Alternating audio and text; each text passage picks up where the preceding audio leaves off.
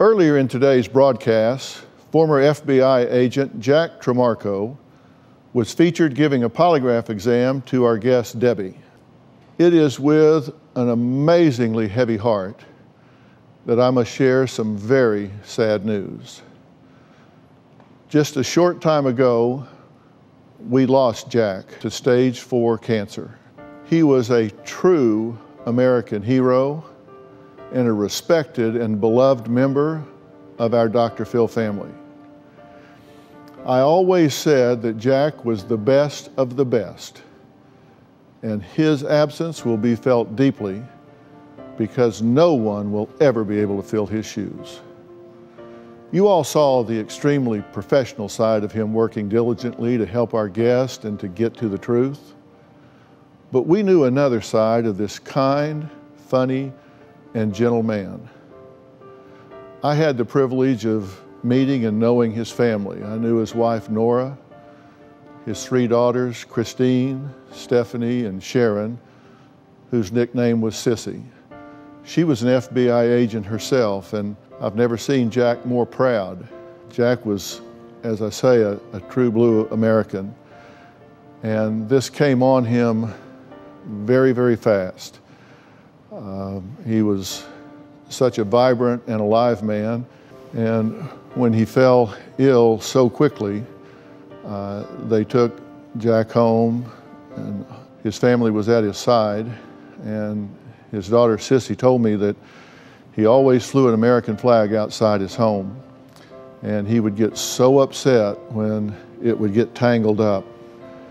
And she said it was actually tangled up on a windy day when they had taken him home. And she said, I just knew Dad would not like that. And so she went outside, untangled it, and she said when it came loose, it just really unfurled into the breeze.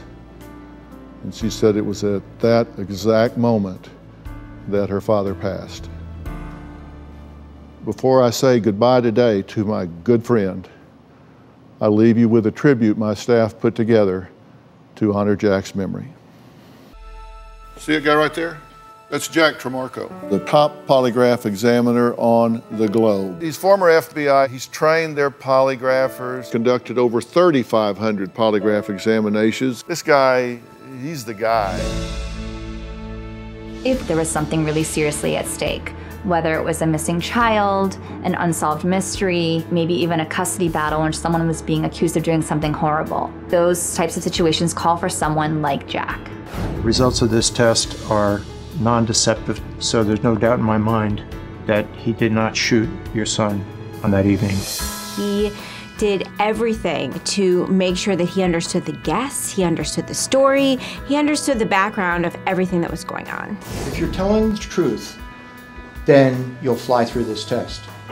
If that's not something you can pass, then don't take the test. There was no getting over on Jack Trimarco. When a guest walked in the room with him, if they weren't telling the truth, he was going to find out. I always told the guests, just tell the truth.